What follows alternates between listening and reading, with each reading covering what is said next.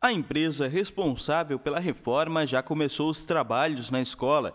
Telhas quebradas foram retiradas, as armações também foram revisadas e o forro retirado para limpeza e manutenção.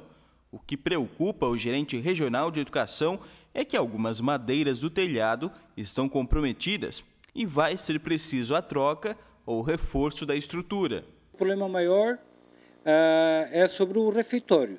É, ali tem a, as bancas, né, ou tesouras, como tanto faz, que abaixou. Tem ali umas três, quatro tesouras que abaixaram né, pelo peso, que elas são muito grandes, né, e pelo peso do telhado, uh, elas abaixaram. Então, nós estudamos aí na última sexta-feira com o nosso gerente de infraestrutura, o Fred, o secretário, e mais a Carol da Construcity, que nós vamos colocar um tipo pilares, né, ali para segurar algumas tesouras naquela, naquela situação, porque não adianta. Com o tempo, elas vão abaixar novamente, então nós vamos tentar fazer o melhor possível né, e será com, com pilares ali, então, para segurar, dar uma garantia maior para os alunos do Apolônio.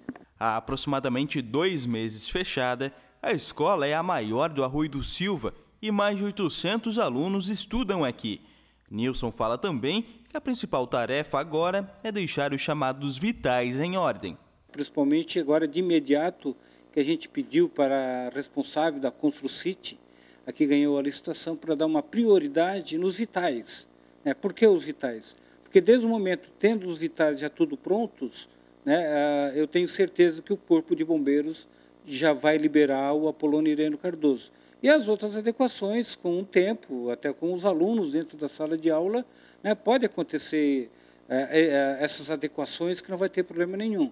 Além dos vitais, o telhado, telhas quebradas, que isso é muito fácil de ser resolvido.